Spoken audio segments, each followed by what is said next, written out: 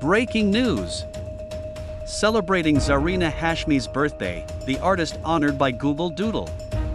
Zarina Hashmi, the celebrated artist whose birthday is being honored with a Google Doodle, is remembered for her remarkable contributions. She contributed to the world of art and her unique artistic expression.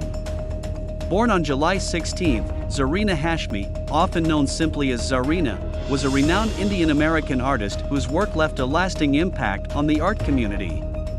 Zarina was born in Aligarh, India, in 1937.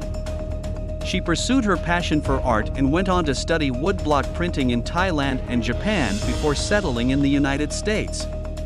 Her artistry was deeply influenced by her experiences, reflecting themes of displacement, migration, and memory. One of the defining aspects of Zarina's work was her meticulous craftsmanship.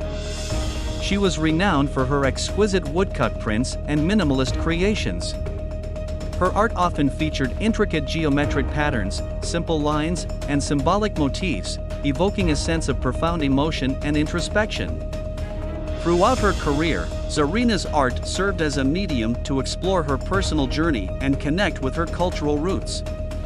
Her work captured the essence of human experiences, especially those related to home, loss, and a sense of belonging. Zarina's profound exploration of these themes resonated with audiences worldwide.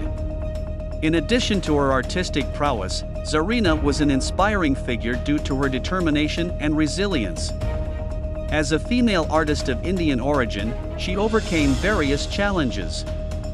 Her work continues to remind us of the power of art to convey emotions, transcend boundaries, and leave a lasting impression on the world. Subscribe to our YouTube channel.